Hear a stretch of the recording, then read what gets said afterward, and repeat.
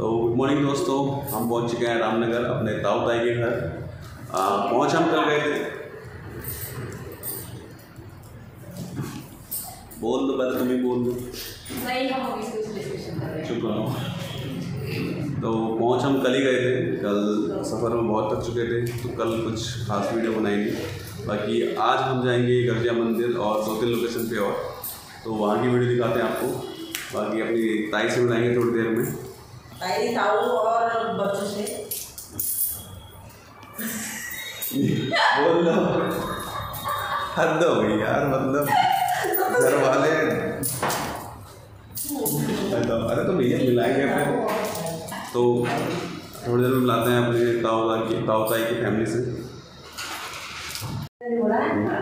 तो मिलाते हैं हम अपनी ताई जी से। रामनगर वाली ताई जी। और ये हमारे रामनगर वाले ताई जी जिनके यहाँ हम स्टे कर रहे हैं अभी। मम्मी के साथ। मम्मी के साथ? फैमिली के साथ। मम्मी अब आप कंटिन्यू कीजिए। बोलिए। हाँ ये हैं हमारे जेठानी रामनगर वाले। अभी जेठ जी से भी मिलाएँगे बच्चों से भी मिलाएँगे आप। ताई तो यहाँ बहुत अच्छा लग रहा है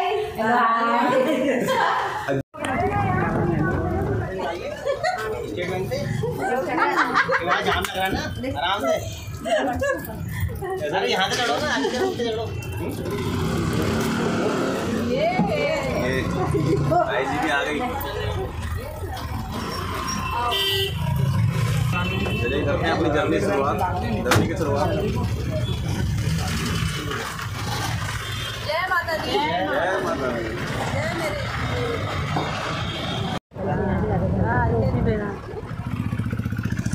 पुराना पुल है ये? है कोसी नदी। इसमें देखिए मैडम को। बाल उड़ चुके हमारी सफारी की सवारी में। खराब हो चुका है इनका। चलो।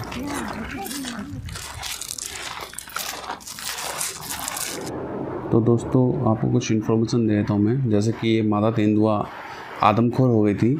इसने दो लोग और कुछ पालतू जानवरों को मार दिया था। फिर उससे फॉरेस्ट गार्ड वालों ने गोली मार दी गई थी। ये जो और जो ये बाघ आप देख रहे हैं, इसकी नेचुरल डेथ हुई थी। उसके बाद ही इसको यहाँ लाया गया है। कुछ जानवरों की नेचुरल डेथ होती है और कुछ आदमखोर हो जाते हैं, इसलिए उन्हें मार दिया जाता है। ये सब रियल एनिमल्स हैं, इनके बारे में डिटेल्स में दिया गया है इसकी मौत कैसे हुई थी। और ये म्यूज़ियम में रखवा दिए गए। ये बागदड़ में मारा गया था। यह बाघ हाथी के साथ लड़ाई में मारा गया था और जैसा कि इसमें लिखा हुआ है कि यह लड़ाई पूरी रात चली थी। हाथी ने इसे कुचल के मार दिया था 1977 में।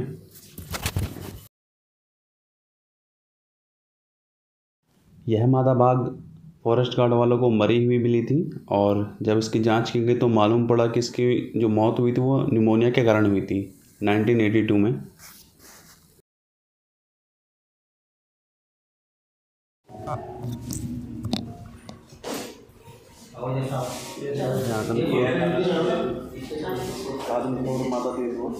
छः महीने के बच्चे को मारा था तो उसे गोली मार दी गई थी। पहाड़ों में ऐसा देखा जाता है कि जानवर आदमखोर हो जाते हैं और इंसानों को नुकसान पहुँचाते हैं। तो हमारे जो फॉरेस्ट गार्ड होते हैं फॉरेस्ट गार्ड फिर उन्हें मार देते हैं।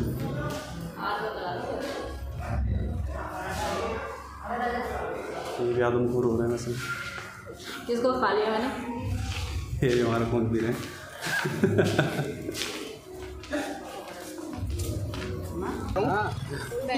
और ये हमारे सुमित भाई हमारे आज के गाइड हमारे ताऊ जी के बड़े लड़के।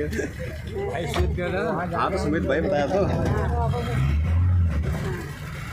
सुमित भाई हमें पहले लेके आए म्यूज़ियम में। अब हम जा रहे हैं गर्जिया मंदिर। गर्जिया मंदिर की बाकी हिस्ट्री भाई बताएँगे।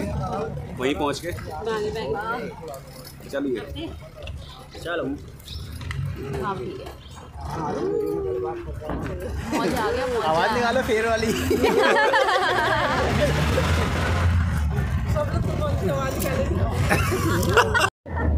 निकाल के दिखा सुनो मम्मी की फरमाइश पे एक आवाज़। भैया निकाल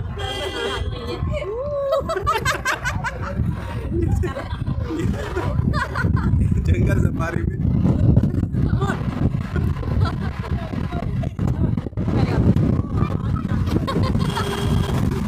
निकालो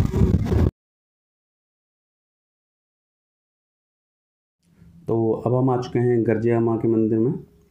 उत्तराखंड के लोकप्रिय मंदिरों में से एक मंदिर गर्जिया माँ का भी है। माँ का मंदिर कोसी नदी में स्थित है और जो गर्जिया माँ है, यह एक टीले पे स्थित हैं और ऐसा कहा जाता है कि ये टीला बहकर आया था नदी में। गिरिराज हिमालय की पुत्री होने के कारण इन्हें गर्जिया या गिरि, गिरिजा के नाम से ही पुकारा जाता है। तो आप लोग भी दर्शन कीजिए हमारे साथ और उत्तराखंड में आइए। रामनगर में स्थित है गर्जिया माँ का मंदिर। दर्शन कीजिए माँ के। अपने और दोस्तों, हमारे इतने सब एफर्ट्स के लिए प्लीज़ रावत परिवार को सब्सक्राइब कीजिए लाइक कीजिए और शेयर कीजिए अपने फ्रेंड्स के साथ। जय माता दी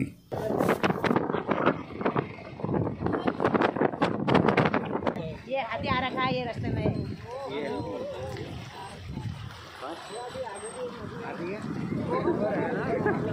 हाथी हाथी निशानी छोड़ जाए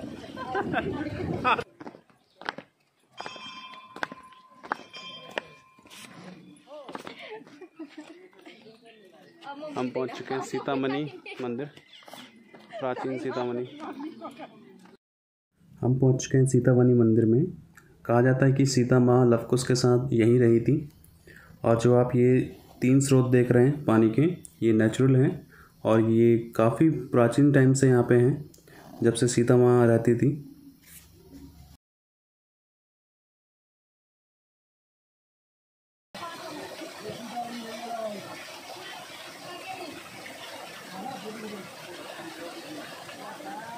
तो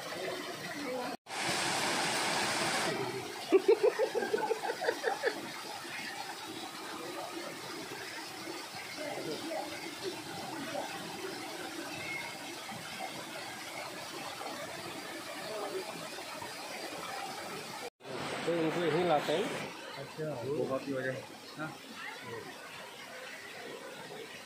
कैसा लगा आप जंगलों के बीचों बीच है ठंडा पानी हाँ, ठंडा पानी अप्रॉक्स शायद ट्वेंटी किलोमीटर या ऐसे कुछ है तो रामनगर आए तो यहाँ भी ज़रूर आए एक बार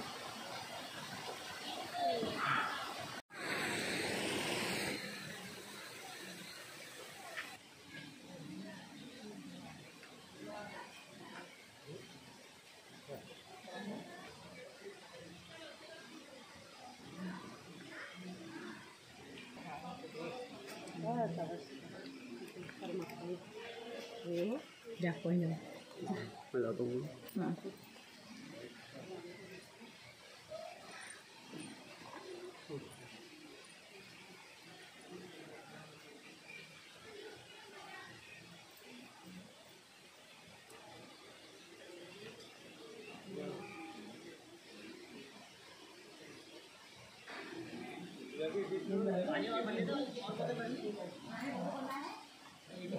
Hãy không सीता भैया लव कुश के साथ हैं यहाँ पे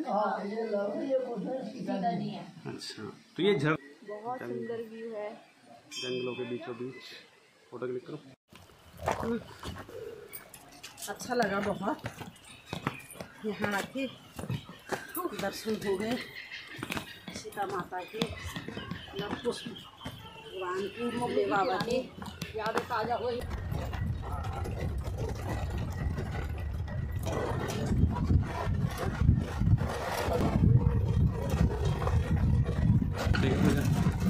उतरना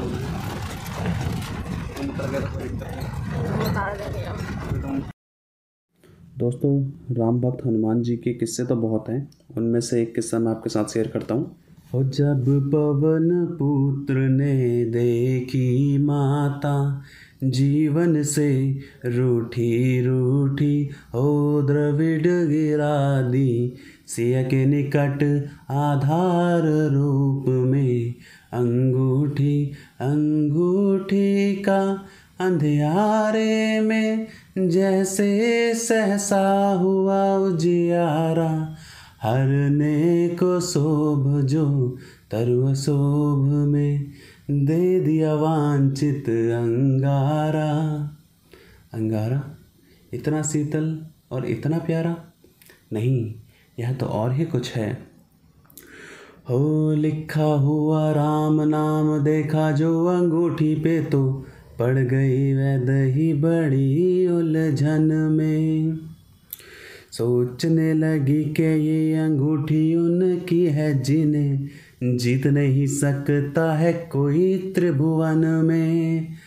हर्ष से भर गया हृदय विशाल से छल छल कर उठे हस्क नयन में बार बार मुद्रिका को मस्तक से स्पर्श करे। प्रभु को प्रणाम किया मन ही मन में। जय श्री राम। जय श्री राम।